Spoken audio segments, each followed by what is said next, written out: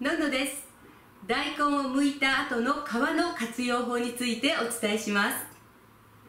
別動画で大根の皮の剥き方をお伝えしたんですけれどもその時に思ってる以上に厚く剥くっていうことをお伝えしてレッスンしたわけですね。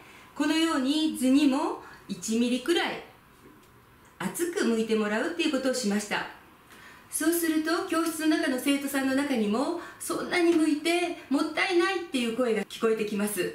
でも皮にはとっても栄養があってこちらの煮込む方とは食感が全く違っていろんなものにねお料理に活用していただくことができるんですね。特にきんぴらに関しては切り干し大根と生で煮たものとのちょうど中間にあたってとっても歯ごたえがあって美味しいんですね。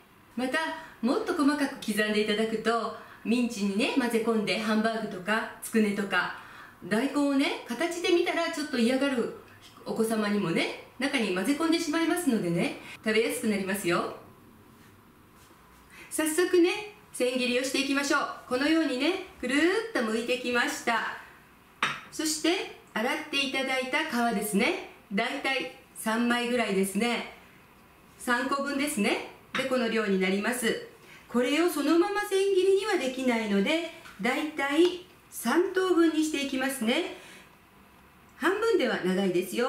そして4分の1だったら短すぎるんですね。きんぴらっていうのは長さが重要になってきますのでだいたい大根だったら1周で3等分にしていただきたいんですね。測らなくていいですよ。大体です。それでは3等分にしたものを切っていきます。お好きなね薄さにしてください。よいしょ。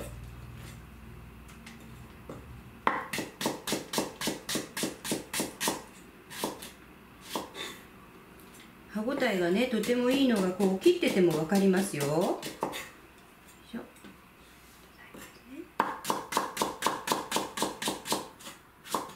ゆっくり最後。はいこのようにね千切りになりました。こちらがきんぴらとかに向いてる千切りですね。そして、えー、混ぜ込んでミンチとかにしてハンバーグとかと一緒にしていただくやり方なんですけれどもこれ長いままとかではねとても大変なのでこういうふうにね切るのをおすすめしますね。教室ではほうきのようにって言ってるんですけどもこんな風にね切り込みを入れていただいてこちらは切ってないんですね。こちらだけビロビロっとなってるんですね。そしてこのようにして細かくしていただくと簡単にそしてバラバラにならずにねみじん切りができるんですね。でもうもう一つここで終わったらもう一回もう一つもう一回ですね。このようにして入れていただいてここビロビロビロビロってなってるところをこんな風にお好きな大きさで切っていただく。これ最後までやっていただくと割と簡単にみじん切りもしていただけるのでやってみてください。一つの一周なんですけどね。これ一周の皮ですけれども一つの皮なんですよね。このみじん切りがこの一つの一周の皮の量なんですね。これぐらいね取れます。